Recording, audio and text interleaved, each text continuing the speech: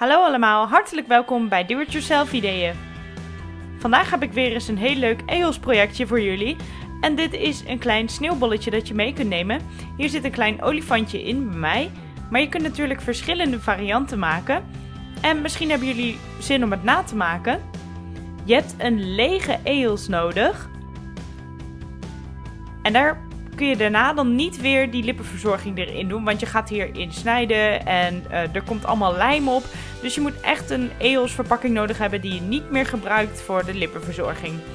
Als je daarna nog weer iets van lippenverzorging erin wil doen, maak dan niet dit do-it-yourself project na. Maar doe iets anders, bijvoorbeeld de gummen. En die kun je daarna weer gewoon eruit halen en dan kun je hem opnieuw gebruiken. Maar voor dit project is dat dus niet zo eh, geschikt om het opnieuw te gebruiken voor lippenverzorging. Verder heb je nog een lijmpistool nodig, een beetje water, een Stanley mes, sneeuw, oftewel witte glitter. Ik heb hier witte glitter genomen, maar je kunt natuurlijk ook andere kleuren nemen als je dat wil.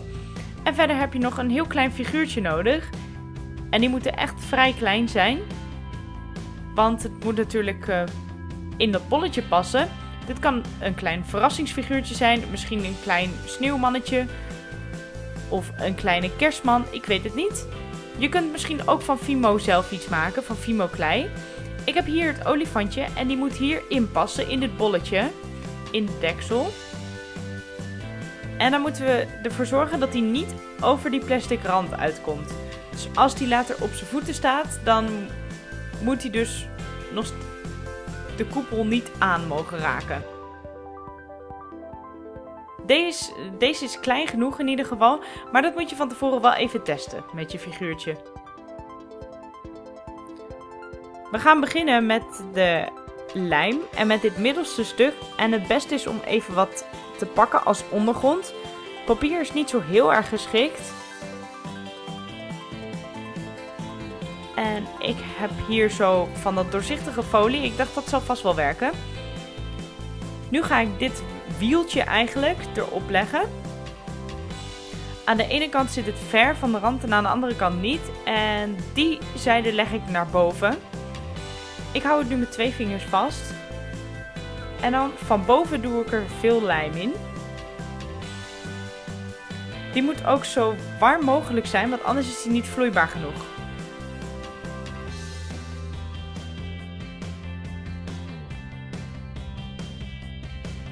De lijm is nu vloeibaar genoeg en ik doe daar een heleboel van in.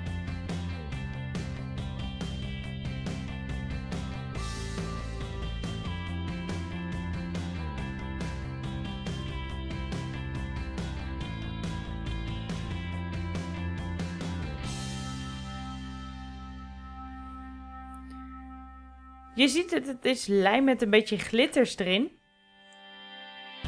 En dat moet dan hier helemaal bedekt zijn. Dus er mogen geen plekjes meer zijn waar geen lijm zit. En dit moet ik nu even goed laten drogen. Terwijl de lijm aan het drogen is, ga ik verder met de deksel.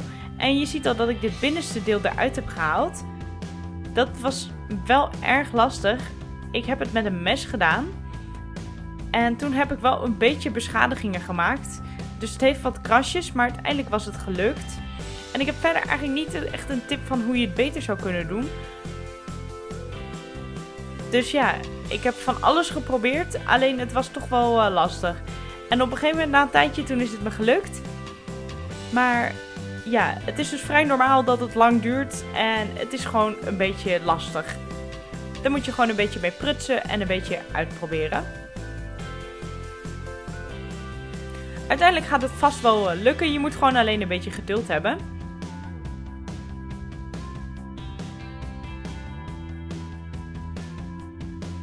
Uiteindelijk had ik zo'n dingetje gebruikt. Een splitpen. En die heb ik er toen zo ingezet. En toen heb ik aan de andere kant met het mes het eruit geheveld. En dat heeft op de een of andere manier wel gewerkt. En ik hoop dat het voor jullie ook gaat lukken.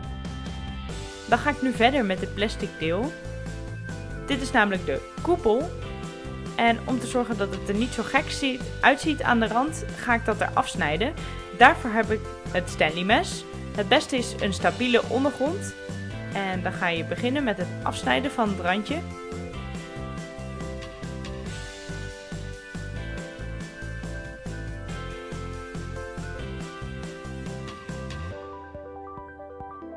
Nu draai ik het eventjes om. Met de koepel naar onder. En aan de zijde waar ik eerst dat kleine sneetje heb gemaakt, begin ik. En dan ga ik het er langs afsnijden. Het is een beetje gevaarlijk. Dus hier moet je erg voorzichtig mee zijn. Maar ik weet niet hoe je het anders moet doen. Als jullie veiligere ideeën hebben, dan kun je dat laten weten in de reacties.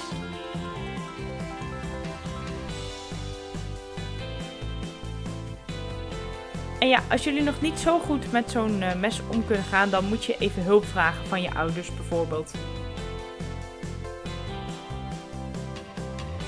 Oh, ik heb hier een beetje te veel weggesneden.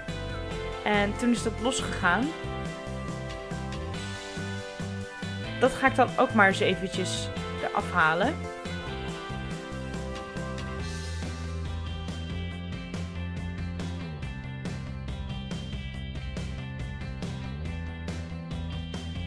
Het is in ieder geval belangrijk dat je niet het complete wegsnijdt, want het moet wel een beetje overblijven. Dus dit moet echt blijven zitten aan de binnenkant, voor de lijm ook straks.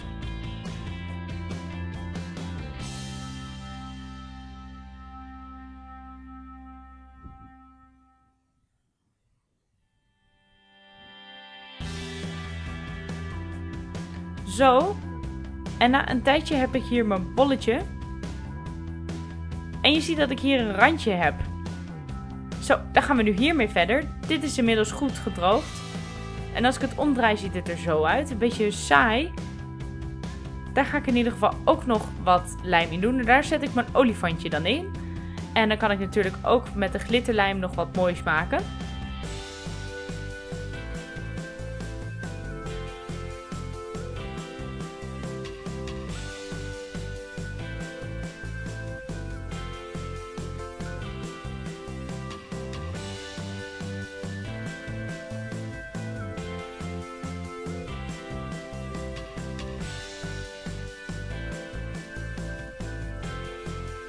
Je kunt natuurlijk ook zolang het nog warm is nog wat glitter erop doen.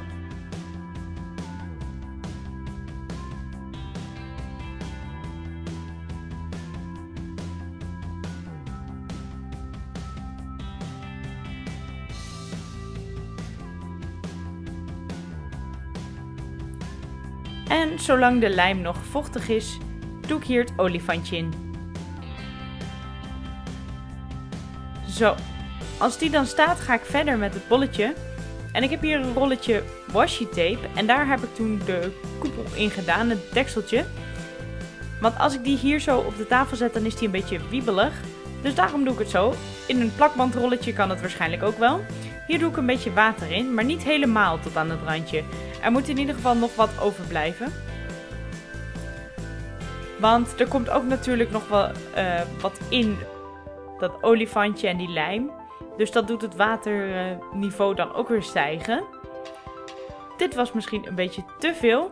Dus je moet in ieder geval een klein randje overlaten. Zo, een beetje water heb ik er weer uitgehaald.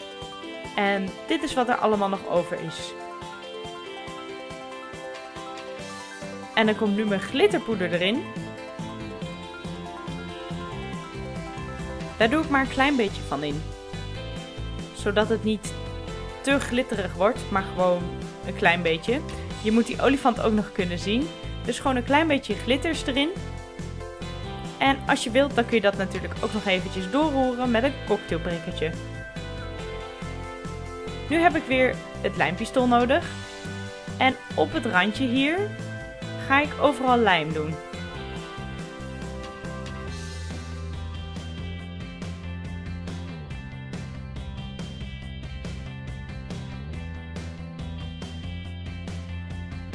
Je ziet het, op sommige plekken is het een beetje naar binnen gelopen, maar dat is niet zo erg. Dan blijft het in ieder geval zitten. Zo. Oh, en nu komt de olifant. Zo, die doen we er dan verkeerd om op.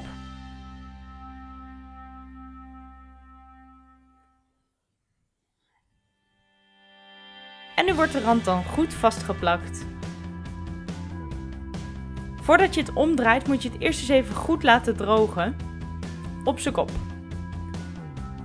Ik heb het nu een paar minuten laten drogen en ik kan het nu voorzichtig omdraaien en daar heb je dan het olifantje in de sneeuw. Je kunt hem ook schudden en dan zie je een beetje de sneeuwvlokjes vliegen. Ik vind hem heel erg leuk geworden, maar hier bij de randen zit nog een beetje lijm. Dat ga ik ook nog voorzichtig even weghalen. Dan kan ik hem weer goed dichtmaken. Dat kun je bijvoorbeeld voorzichtig nog even met het mes doen. Maar je moet er niet te dicht bij de rand komen. Want anders dan loopt het water er weer uit en dat wil je natuurlijk niet. Alleen zo gaat het verder prima. Zolang je voorzichtig bent, dan kun je gewoon met het Stanley mes wat wegsnijden. Water komt er niet meer uit. En het is echt heel leuk geworden. Nu heb ik alleen nog maar de rest van de eels nodig.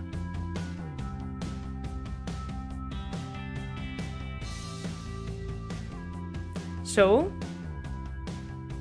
En dan kun je de deksel er weer op draaien. Je kunt hem natuurlijk ook als cadeautje geven aan iemand. En als diegene hem dan openmaakt, dan zit er zo'n leuke verrassing bij. Misschien vinden jullie het leuk om hem na te maken. Misschien met een ander figuurtje. Misschien hebben jullie daar nog ideeën voor. Laat dat dan maar weten in de reacties. En verder vind ik het natuurlijk leuk om een duimpje omhoog te krijgen. Bekijk ook mijn andere video's, abonneer je op ons kanaal en tot de volgende keer. Doei!